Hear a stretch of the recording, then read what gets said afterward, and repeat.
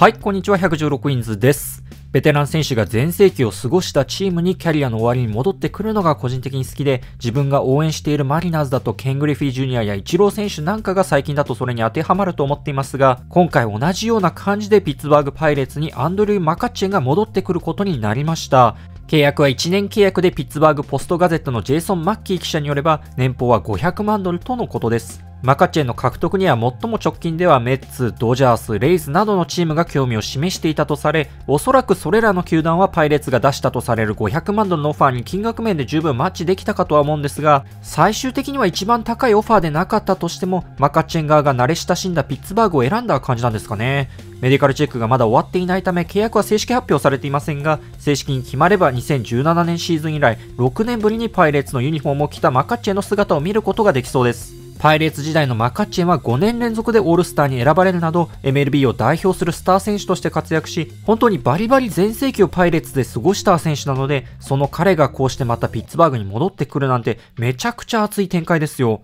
去年プホルスがカージナルス復帰を選んだ時みたいな気持ちに今なっていますし、MLB ファンの間でも、うお、マカッチェンがパイレーツに戻ってくるぞと喜んでいる方も多い印象です。今回はそんな熱すぎるマカッチェンのパイレーツ復帰について話していければなと思っています。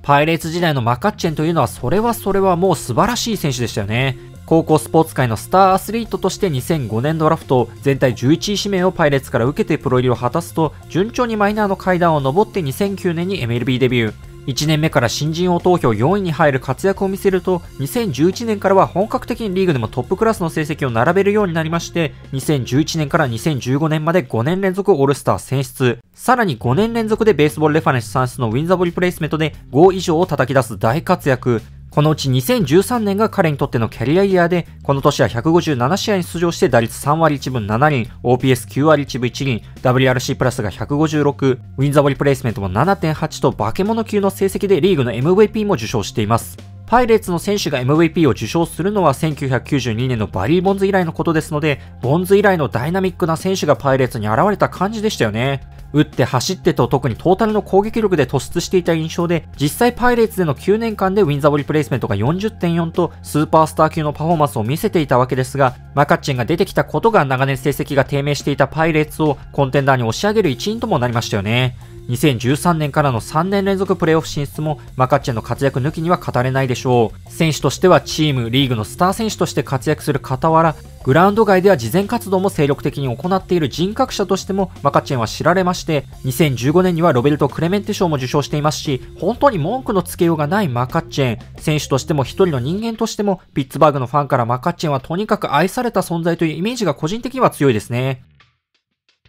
しかしそんなピッツバーグ中から愛されたマカッチェンも30代に差し掛かって少しずつ成績低下の兆候が見え始め、契約も残り1年となった2017年オフにパイレーツは非常に難しい決断だったとはしていますが、マカッチェンをジャイアンツへとトレードしています。このトレードが2018年1月15日に成立していますので、ちょうど丸5年でパイレーツ復帰となった形ではあるんですね。チームの未来のための投資という側面が強いトレードではありましたが、このトレードでパイレーツにやってきたのがコンフトレード要求で話題ともなりました。現在チームのセンターレギュラーを務めるブライアン・レイノルズ。チームを去る時もなおマカッチェンはパイレーツに貢献したことになるわけですが、今季からはレイノルズとマカッチェンの外野陣、トレード相手の2人が一緒に PNC パークの外野を守ることになるとは、なんとも不思議な縁ですよね。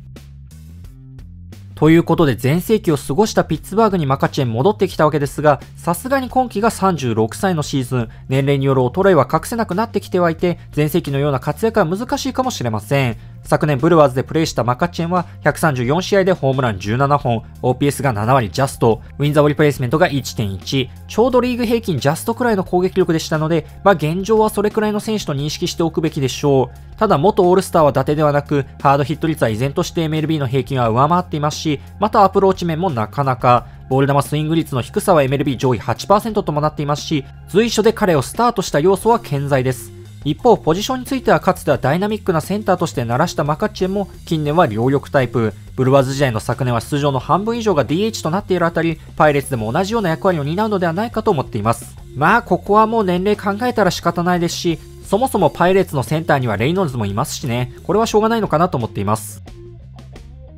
ただ、前世紀と比べたら衰えているとはいえ、マカッチェの加入は戦力面でもパイレーツにプラスの効果をもたらすことでしょう。昨年のパイレーツはチーム全体としても攻撃面でかなり苦しみましたが、両翼の攻撃力が MLB でも下から数えた方が早いように大きな課題となっていました。昨年のトータルの攻撃力がほぼリーグ平均ジャストとはいえ、マカッチェの加入はやはり大きいですし、またキャリアを通して左投手を得意としている点、その点も左投手にも昨年苦労したパイレーツにとっては貴重な存在となってくれるのではないのかなとまた今季のパイレーツはまだまだコンテンダーと呼ぶ立ち位置のチームではないものの、マイナー含め着実に若い選手たちが育ってきている中で、マカッチェのようなベテラン兼メンター役の選手がチームに加わったのは単に成績以外の面でも効果を見込めそうですよね。パイレーツはコンオフ、この他では同じくクラブハウス内でベテランらしい存在感に定評のあるカルロス・サンタナとも契約していますが、これからまた再びコンテンダーに戻るにあたって、そういったベテラン選手たちがもたらす効果を非常に重要視しているのかもしれません。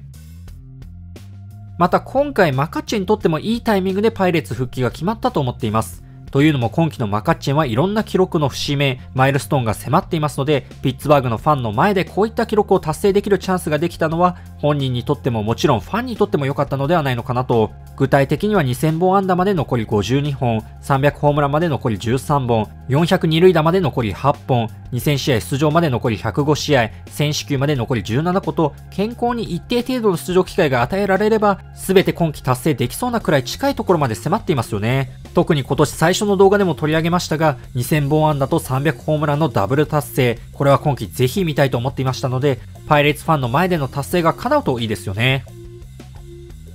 そして一つ気になっているのが、このタイミングでマカッチンがパイレーツに戻ってきたのが他の意味を持つのか、もっと具体的に言えばこの辺りで引退を考えている可能性はあるのか、今季36歳とさすがにキャリアも終盤な中で、冒頭でも触れたようにキャリアの最後に古巣に戻る例はしばしば見かけますし、大体そういう選手も古巣に戻ってからはプレイしたとしても、まあせいぜい1、2年程度、残っているマイルストーンすべて達成すれば、成績面でも区切りは結構いい印象ですし、マカッチェンとしてもそろそろキャリアの終わりというのも意識していそうではあります。マカッチェンが今後についてこれからどういう選択を下していくのか気になるところではありますが、まずは目の前の2023年シーズン、再びパイレーツのユニフォームを着てプレイするマカチェの姿を見られることを楽しみにしたいと思います。ということで今回の動画は以上としたいと思います。今後もですね、メルビンに関する動画を上げていきますので、興味のある方ぜひチャンネル登録していただけると幸いです。それではご視聴ありがとうございました。